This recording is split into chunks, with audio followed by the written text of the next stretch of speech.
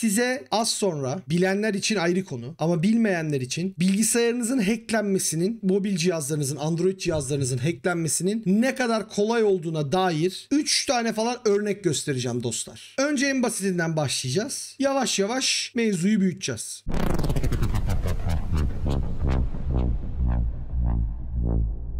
Birinciyi anlatırken arkadaşlar yapmanız gereken sadece bu ilk aşamayı anlatırken Meterpreter mesela. Bunun nasıl kullanıldığını araştırmanız yeterli tamam mı? Burada atla deve bir şey yok. Burada size çok basit bir şey söyleyeceğim. YouTube'da bir sürü video var. Bu videolara girebilirsiniz göreceksiniz. HTA Hakkari Trabzon Ankara. HTA dosyası diye bir dosya yaratıyorsunuz Meterpreter'ın içinde. Meterpreter Metasploit'in bir parçası diyelim. Metasploit de Kali Linux içerisinde olan bir hacking tool'u. Meterpreter ile arkadaşlar bir HTA dosyası oluşturuyorsunuz. Bu HTA dosyası aslında bir web application'ı. Bu web application'ı arkadaşlar gidiyorsunuz birine gönderiyorsunuz mesela HTA dosyasını ve adam o dosyaya tıkladığında direkt olarak karşı taraftaki makineye erişebiliyor. Makinesi gidiyor elden. Veya o dosyayı alıyorsunuz. internette TinyCC diye bir tane web sitesinin içine koyuyorsunuz. Ondan sonra o linki adama veriyorsunuz. Adam o linke tıkladığı zaman direkt olarak gidiyor o sayfaya hop indiriyor. Veya o linki alıyorsunuz popüler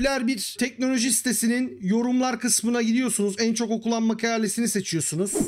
Ondan sonra diyorsunuz ki o en çok okunan makaleye aa bununla ilgili şurada şöyle bir yazı olmuş. Bakalım buna kaç kişi tıklamış. Siz de bakmak isterseniz linki aşağıda bırakıyorum deyip bir comment atıyorsunuz. Aa ne dedim lan ben? Neyse. Ondan sonra bakıyorsunuz kaç kişi tıklayıp sizin server'a gelmiş. Çok az kişi tıklar ama yani. Yani bizler Türkler bu konuda çok bilgiliyiz. Yani hayatta tıklamayız öyle bilmediğimiz yerlere falan. Hayatta yapmayız böyle şeyler. Biz o konuda çok bilgili insanlarız yani. Yapmayız böyle şeyler. Aynen aynen.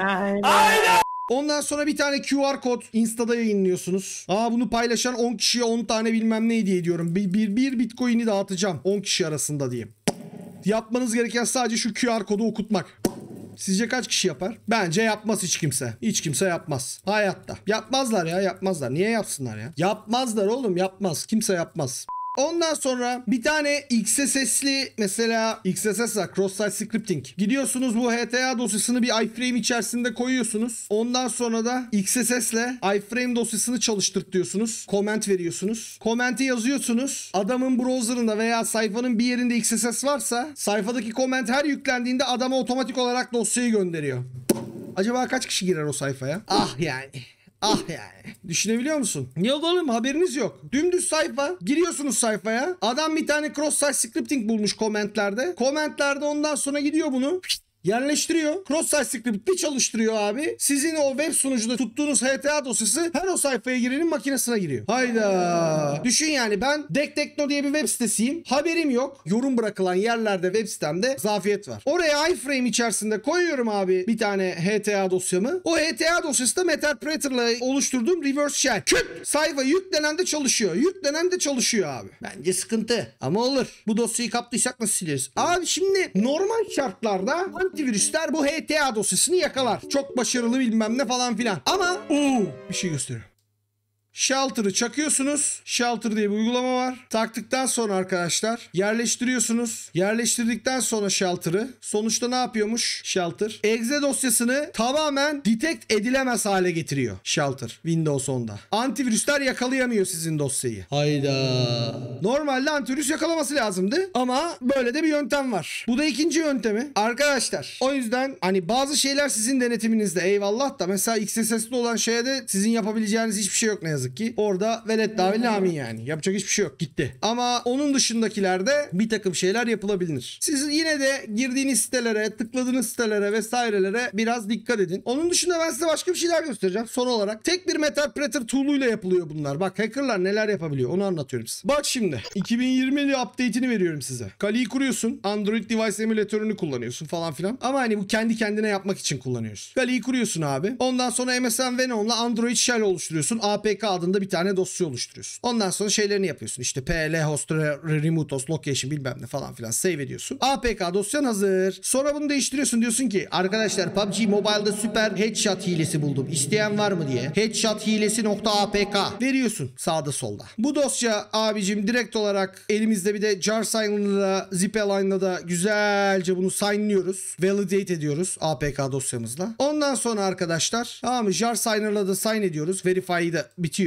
Bittikten sonra arkadaşlar dosyamız hazır. Neydi bu? PUBG Mobile Headshot APK. Ondan sonra arkadaşlar giriyorsunuz MSF konsolu çalıştırıyorsunuz Metasploit'i. Çalıştırdıktan sonra ayarlarınızı yapıyorsunuz. Multi-handler, reverse TCP yani gerisin geri benim makineme bağlanacak şekilde ayar veriyorsunuz. Ondan sonra diyorsunuz ki bu IP'ye bağlansın. Zaten yaparken ona göre APK'yı verirken bu IP ile vermiştiniz kendi IP'nizi. Ondan sonra da çalıştır diyorsunuz bekliyorsunuz. Sonra adam gidiyor abi kendi makinesine. O diyor ben diyor bunu diyor çalıştırayım diyor. Allah diyor güzel diyor. Bak diyor headshotları koyacağım bir bir gömeceğim ne kadar güzel olacak. Oley oley diyor. Ondan sonra sen diyor main'e bu uygulamaya çakarken uygulamanın içinde arkadaşlar bak sesi kaydet, lokasyonuna ulaş, modify et kontakları, resim çek, bilmem ne yap, zart surt hepsini açıyorsun. Hepsini açıp öyle gönderiyorsun. Android headshot GG o ye falan diye böyle. Ondan sonra açayım ben bunu da şimdi gideyim PUBG'deki adamların kafasına kafasına koyuvereyim rahat edeyim. Oley oley diyor adam böyle. Tıklıyor tamam mı? Tıkladıktan sonra abi Adam modemi söktü götürüyor.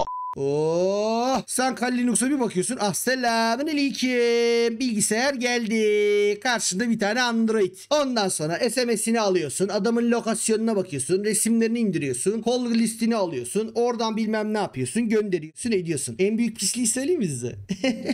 SMS'den okuyabiliyorsunuz ya. SMS'ler okunuyor ya arkadaşlar. hani o two factor authentication var ya açtığınız hani YouTube kanalınızı koruyan falan. Ondan sonra var ya işte hani o bankaya girmenizi engelleyen falan. headshot atıyorlar onların hepsine. Anladın? PUBG headshot ondan sonra. Böyle. Bir koyuyorlar ha. Ama bende two factor authentication açıktı.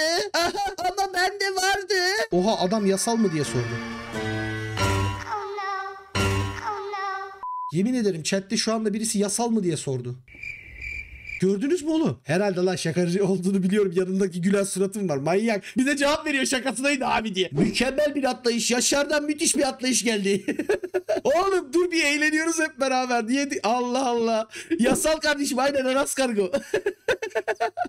Abi böyle efsane bir durum var. Direkt sizin two factor authentication'lar falan filan var ya. Kaymaklı simp baş. Direkt gitti abi. Android 11'de anlattığım patlıyor. Tabii ki patlıyor. Ama problem şu. Mesut'la beraber şöyle bir şey yaptıydık. Hatırlıyor musunuz? Android vs iOS videosunda ben bir takım istatistikler paylaşmıştım. Orada dikkat edin abi. Sadece %10'u mu %8'i mi ne en son sürüme geçmiş. Geri kalanların %40'ı mesela Android 10'dalar. E Android 10'da 9'da da hala çalışıyor bu. Böyle bir durum var. Yani arkadaşlar günün sonunda Metalpreter denilen teknoloji makinaları basit bir linkle girdiğiniz bir sayfayla sayfa yüklenirken veya bir dosya gönderilerek veya APK dosyasını size ileterek çok kolaylıkla bir hacker'ın sisteminizi ele geçirmesine neden olan bir tool. Bu kadar kolay bir şekilde, bu kadar rahat bir şekilde insanlar bunu alabiliyorken sizin uyanık olmanız gerekiyor. Her önünüze gelen yerlerde tıklamıyorsunuz derken babamızın ayna söylüyor. Adamların amacı şu arkadaşlar. Bir hacker bir sistemi ele geçirdiği zaman mümkün olan en fazla sürede, en uzun sürede o sistemde kalmaya çalışır. Fark edilmeden o sistemde ne kadar uzun süre kalırsa o kadar iyi olur. Onun için adamın elde etmeye çalıştığı, ulaşmaya çalıştığı nokta budur. Adam sizin bunu fark edebileceğiniz şeylerin hepsine önlem koymaya çalışır. Mesela zombi olarak kullanıyorsa 160p'de video izlettirir size ki fark etmeyin network görsellerinde bu iş ortaya çıkmasın diye. Proxy kullanır ki o trafik anlaşılmasın diye. Hani siz diyeceksiniz ki abi ben bunu böyle yediysem ne yapacağım? Yememeye çalışacaksın sevgili güzel kardeşim. Ona özen göstereceksin. Ona dikkat edeceksin yani. Hepinizi öpüyorum. Kendinize çok iyi bakın. Allah'a emanet olun. Bir sonraki videoda görüşürüz. Haydi eyvallah. Can kaçar. Abone olun oğlum.